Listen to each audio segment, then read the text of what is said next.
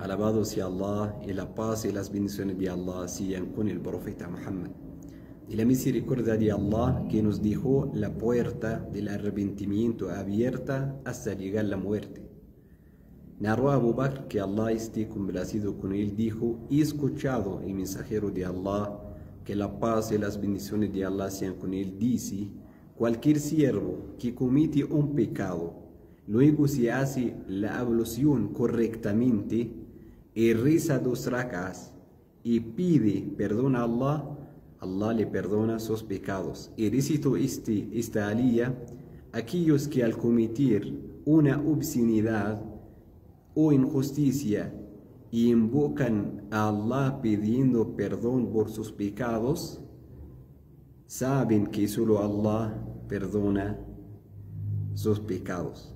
Entonces, este se llama la oración del arrepentimiento. Cuando cometes un pecado, levanta y haga la ablución y reza dos rak'as y pide perdón a Allah y Allah subhanahu wa ta'ala perdona tus pecados.